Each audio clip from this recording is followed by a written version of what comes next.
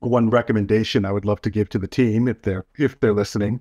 Um, I actually think that they should uh, not expose a lot of the users to the Web three uh, for the early part of the game.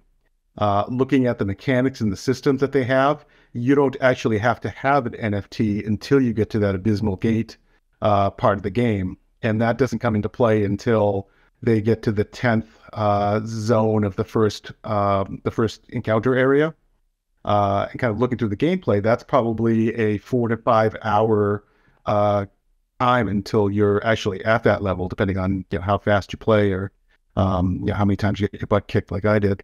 Um, so I think until you actually get to the to that abysmal gate, which is the first point where you are really earning uh, any kind of revenue from the from the token and from the NFTs, I don't know if you really need to uh, to expose the users to your to the marketplace to make them connect a wallet to kind of go through all those friction points that you know really hamper a lot of that early user acquisition for Web three games. Yeah, I think they have a beautiful game, uh, very good gameplay, and I think that they should get more people into the gameplay before kind of putting that friction point of connecting the wallet and getting them um, you know onto the to the marketplace. I don't know what your what your thoughts would be on that, Nick.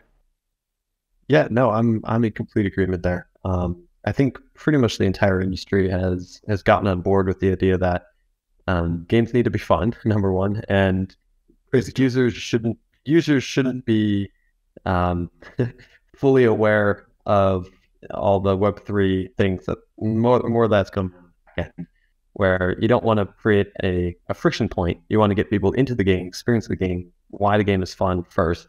Um, and that's kind of the free to play mentality, right? Is you get into the game, you start experiencing it, you get hooked, and then you start progressing through the meta game, which is what then creates the bottlenecks for your progress.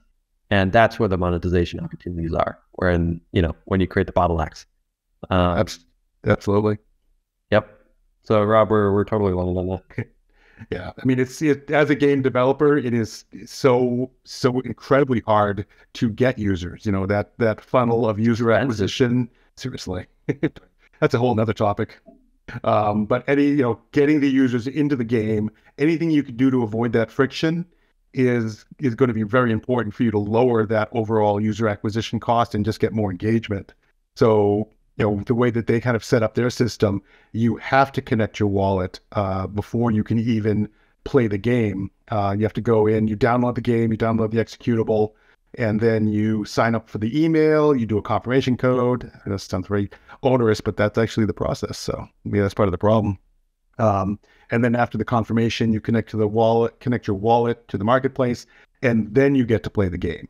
And that's uh, from a user experience point of view that's terrible so I'll be very negative there.